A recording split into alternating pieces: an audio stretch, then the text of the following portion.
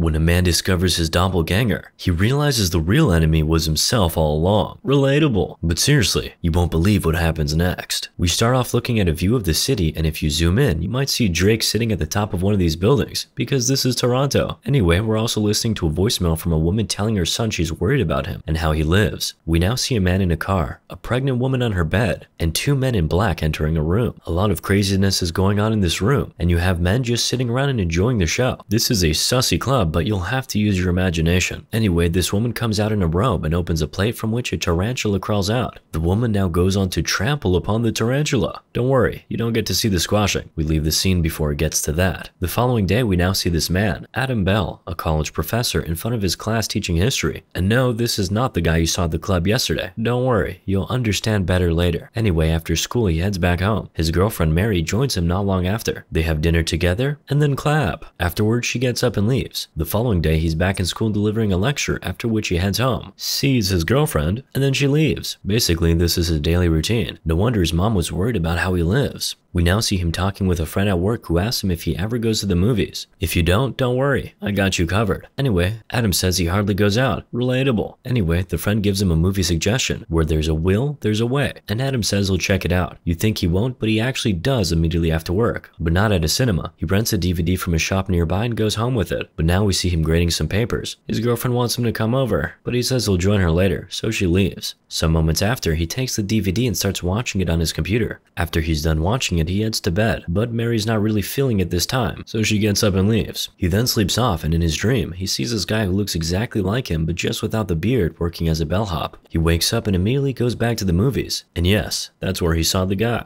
Okay, this is weird. The following day, he starts doing his research to find out who that guy is, and he does. His name is Anthony Claire, and this guy is basically him, but cooler. I can see why he's freaked out. Anyway, to be darn sure, he finds another movie the guy is in and goes to rent it ASAP. He doesn't really care about the movie, he just fast forwards until he sees his doppelganger. He catches sight of him, and now he needs a shower. After his shower, he ransacks his things and finds a torn picture of himself, which he compares to the picture of Anthony. This thing is really killing Adam now. He's not focusing at school, he's not picking up his mother's calls. He's just obsessing over this guy. He now finds an address for the guy's talent agency and does a little shopping for sunglasses before going. He manages to get into the building pretty cleverly, and the first person who sees him, the security guy, calls him Anthony and says he hasn't been around for ages. Points out his beard though, and asks him if it's for a movie. Adam just plays along and says yes. The security guy then asks him why he's here today because nobody comes in on Saturdays, but Adam just acts like he's here to pick up something. Luckily for him and his covert mission, the security guy says he actually has something for him, and Adam acts like that's what he came here for in the first place. He takes it and runs straight to his car. He opens the envelope and finds a letter addressed to Anthony with his address there. Exactly what Adam was looking for. He drives straight to that address. He gets Anthony's home number and goes over to a payphone to make a call. Anthony's wife, Helen, picks up the phone and she immediately thinks it's her husband, but Adam insists he's not Anthony. But then the call gets awkward and Adam just hangs up and starts breathing really fast. Adam heads home and is still obsessing over this whole thing. He calls Anthony and gets through to him this time, but Anthony tells him to never call this line again and he hangs up. Adam calls again and tells Anthony everything. He saw a movie of his and they look exactly alike. He's confused and thinks they should meet. Anthony thinks he's just a stalker, so again he tells Adam never to call again and hangs up. His wife, who's pregnant by the way, asks who's on the phone and Anthony says it's the guy from earlier asking to meet. She thinks he's lying. She thinks it's the husband of a lady he used to see.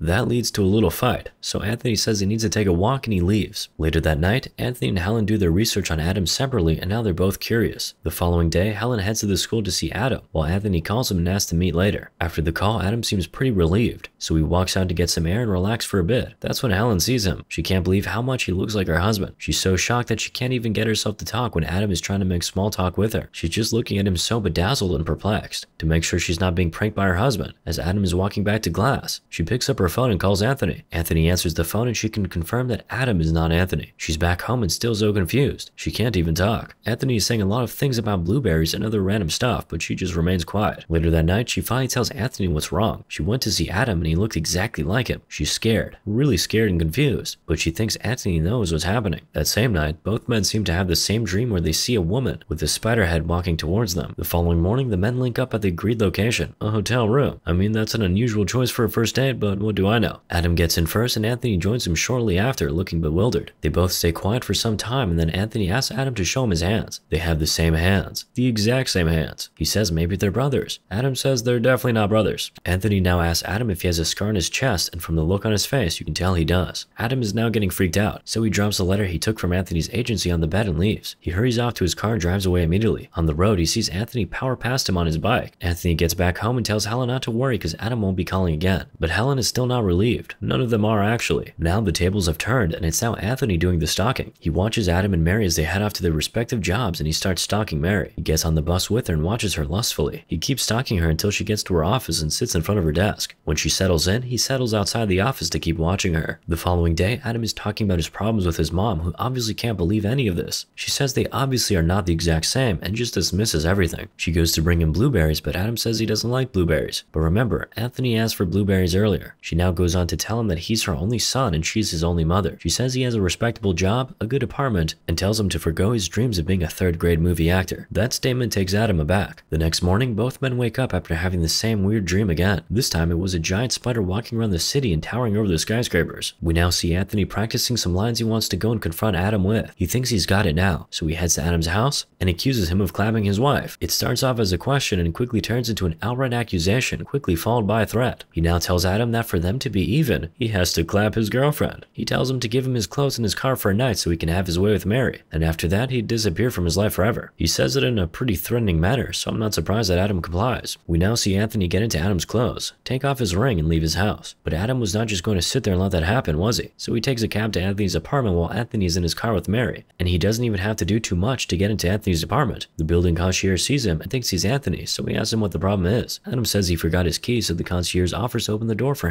In the elevator, the concierge starts telling him that he can't stop thinking about the other night and he'd love to go back. No, scratch that. He says he needs to go back. Adam, who doesn't know what the heck this guy's talking about, just says he'll see what he can do. I mean, that's the go-to response for when you're not going to do anything about what the person is asking, right? In case you are confused, remember those two guys we saw at the beginning going into the club? Yes, those men were Anthony and this concierge right here. He had the time of his life that night, so he's telling Adam, who he thinks is Anthony, that he needs to go back. Anyway, the concierge now opens the door for Adam and he goes in, but Helen doesn't seem to be home. Adam now goes ahead to change into Anthony's clothes. He checks the fridge and sees a lot of blueberries. He rolls his eyes. He's now just hanging around when he notices a framed photo that looks like the one he found at his house the other time. If you remember, that picture he had was torn in half, but this is the full version. He's with Helen. Or should I say, they are with Helen, because now I don't know if the man in this picture is Adam or Anthony. Anyway, Helen now gets back and heads straight to bed. Meanwhile, Anthony has now arrived at the hotel with Mary. Adam is trying so hard to act like Anthony, but he's failing abysmally because he's basically being too nice. Anthony is never this nice. Anyway, Helen invites him to bed, but the way she's staring into his soul looks like she knows that this isn't her husband. And you won't believe what comes out of her mouth next. She asks him, Did you have a good day at school? I knew it. She knew. But she's tired of her husband's BS anyway, and it seems like she won't mind a night off. Adam is shocked, but she tells him not to worry about it. Meanwhile, at the hotel, Mary suddenly jumps up. She points out the mark of the ring on his finger, and Anthony says he's always had this. But Mary is sure that that has not been there. Talk about knowing every single detail about your boyfriend. She's now yelling and asking Anthony who he is. While that is happening, Adam wakes up. Anthony is now driving Mary while Adam is sitting in the living room crying when Helen joins him. He starts apologizing, and Helen is just being a comforting presence. She tells him she wants him to stay, and then, well, we're gonna have to move on again. It gets a little sussy. But things aren't that rosy with Anthony and Mary. They've now gotten into an argument in the car, which ultimately leads to an accident. No way any of them is surviving this. Man, Mary definitely didn't deserve this. Anyway, the following morning, Adam seems to be settling into his new life pretty well. He puts on Anthony's suit and notices that letter he got from his agency earlier. So he opens it, and what's inside? A key. Oh, that's the key to that club. Adam now comes out of the room and tells Helen, who just walked from the bathroom to the room, that he won't be available tonight because he has to go out. Surely he has his mind on the club. But when he doesn't hear back from her, he goes to the room to check on her. And what do we see? The huge tarantula occupying the entire room. And believe it or not, that's the end of the movie. No cap. Moral of the story? I have no idea.